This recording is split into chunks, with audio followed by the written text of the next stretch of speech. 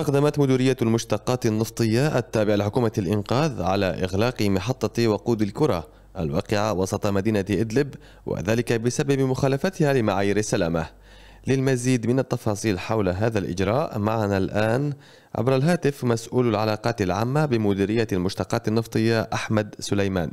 تحية لك أستاذ أحمد. حياكم الله وبياكم أهلا الكريم آه، أستاذ أحمد بداية يعني لو تحدثنا أكثر عن سبب إغلاق هذه المحطة وما هي المدة الزمنية للإغلاق؟ نعم.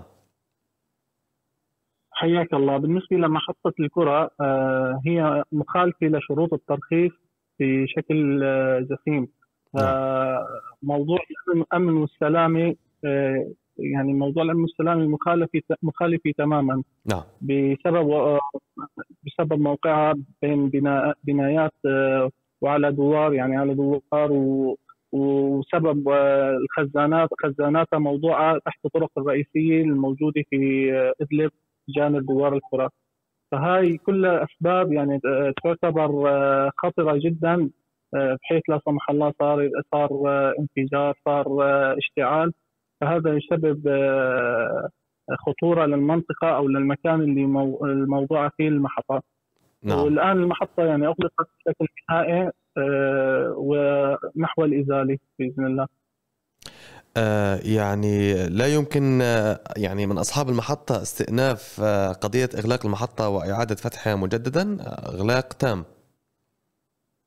لا إغلاق تام نعم. بالنسبة لمحطة كورة إغلاق تام بسبب يعني مثل ما ذكرت سابقا الأمن والسلامه.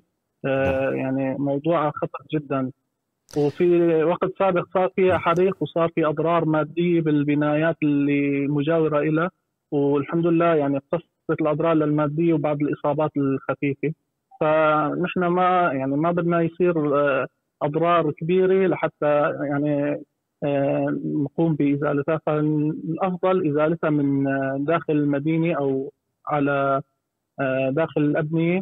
وهي يعني بكل فترة بتسبب أزمات بتسبب آه، آه، يعني ازدحام بمنطقة دوار الكره فهذا أسباب هاي سبب آخر يعني لإغلاقها. نعم أستاذ أحمد يعني هل تم إنذار صاحب المحطة وما هي الإجراءات التي تم اتخاذها يعني قبل عملية التشميع؟ يعني كيف تتخذون الإجراءات في مثل هذه الحالات؟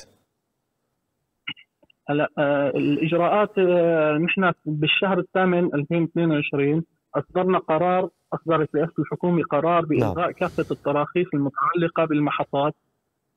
آه وهذا القرار يعني يعتبر إلغاء لكافة التراخيص السابقة. آه فوضع شروط مبدئية للترخيص.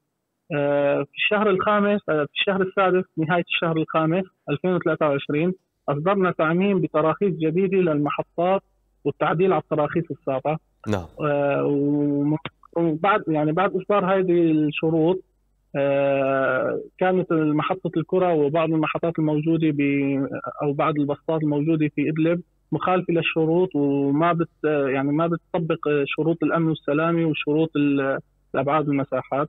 تم إنذار المحطة آه، بشكل رسمي من قبل دوريات الرقابة. آه، راحت آه، دوريه الرقابه ذهبت للمحطة للموجودين بالمحطة أصحاب العمل وأنذروهم تقريبا من مدة 10 ل 15 يوم تم إنذارهم إنه المحطة بعد 10 15 يوم راح تتشمع وتنزال من من مكانها طبعا نحن علينا إيقافها وتشميعها والإزالة. عن طريق الخدمات أو مديرية الخدمات في إدلب مسؤول العلاقات العامة بمديرية المشتقات النفطية أحمد سليمان. أشكرك جزيل. الشكر على هذه التوضيحات.